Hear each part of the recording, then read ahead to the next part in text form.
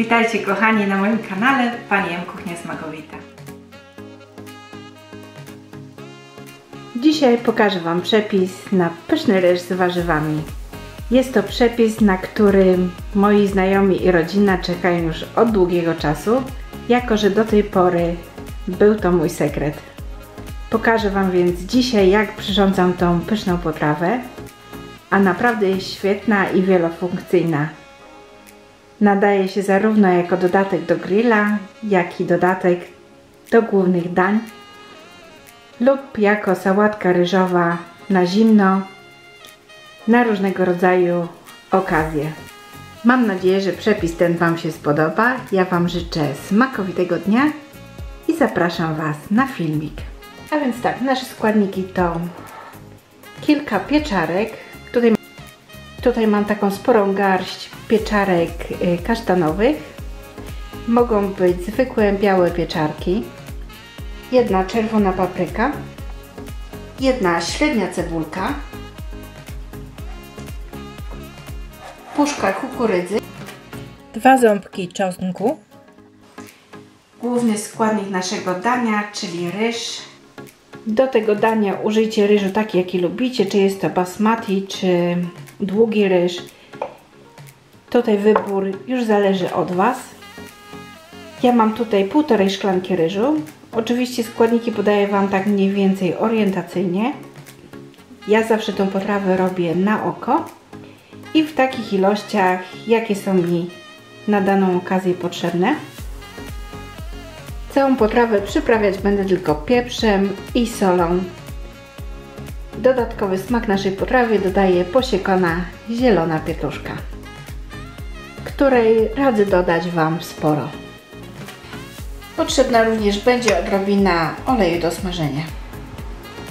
Zaczynam od przygotowania moich warzyw. Obraną cebulę pokroję w kostkę.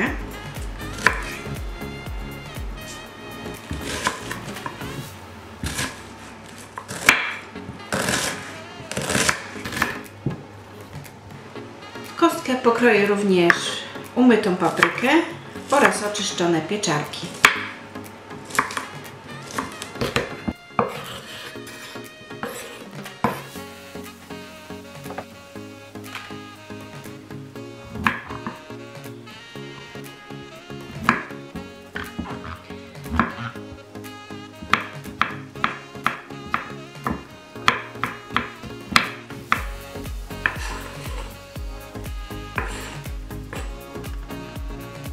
Gorącej patelni rozgrzewam tak około łyżki oleju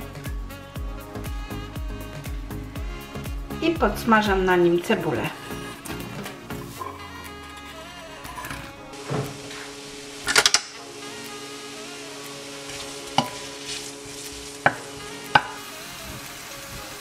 W tym samym czasie, kiedy zaczynam smażenie moich warzyw, zaczynam również gotować ryż. Do garnka wsypuję ryż i zalewam go zimną wodą. Zalewam go centymetr ponad poziom ryżu.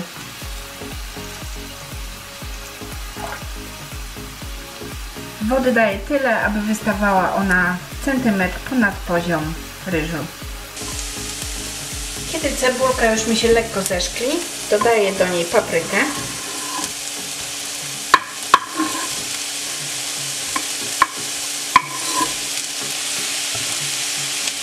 Chwilkę podsmażam, tak aby papryka nam lekko, na tyle, aby papryka lekko zmiękła.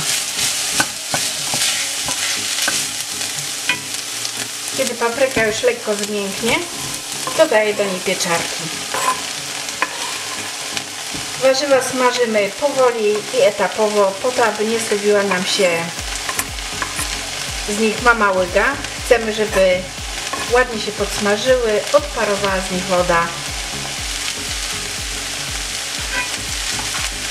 I podsmażam pieczarki. Jak widzicie warzywa są cały czas sypkie, nie zrobiła nam się z nich mama łyga.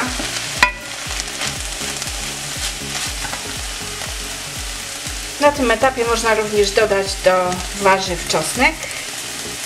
ścieram go na tarce.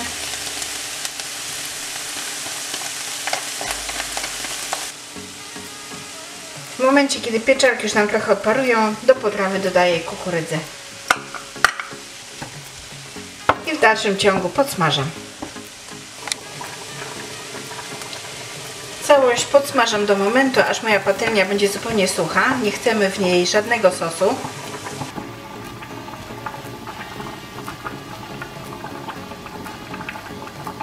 Tylko pyszne, chrupiące warzywa.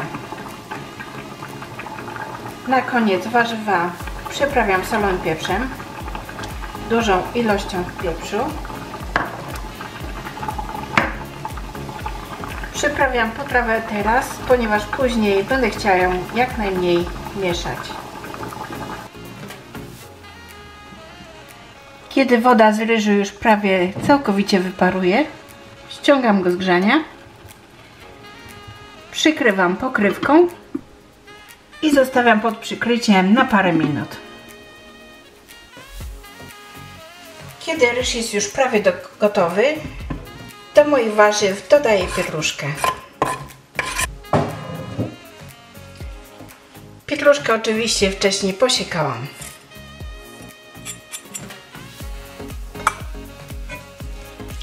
Wymieszam.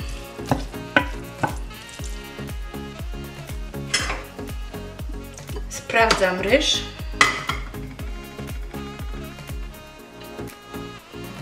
Ryż jest idealny, on ma być taki al dente. Pięknie nasypko się ugotował.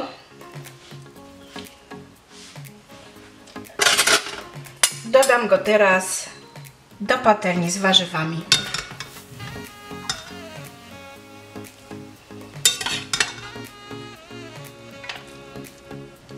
Pod moją patelnią ponownie włączam grzanie. Ryż delikatnie wymieszam i chwilę podsmażam z warzywami, tak aby ryż przeszedł ich smakiem.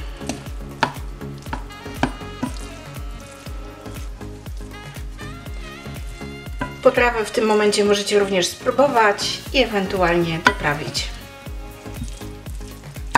Jeżeli ryż ugotowany był al dente, on w tym momencie ładnie dojdzie i będzie miał idealną twardość. Całą potrawę powoli odparowujemy.